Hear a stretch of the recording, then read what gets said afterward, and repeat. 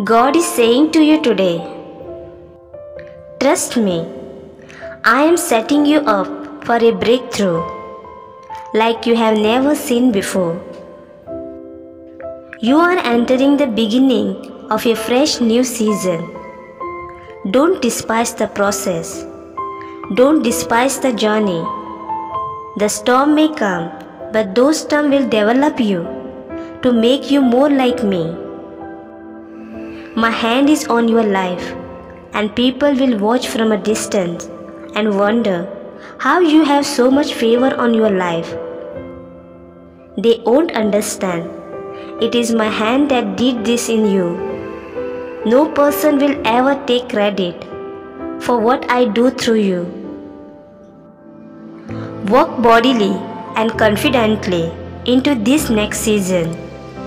No weapon formed against you will prosper.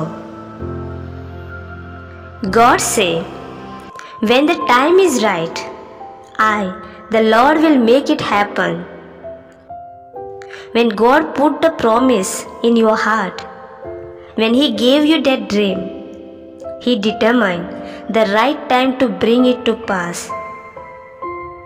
He's already scheduled your healing, your breakthrough, and your promotion. There are right time moments in your future where things will fall into place. The right people will show up and the opportunity will find you. What you are believing for may not have happened yet.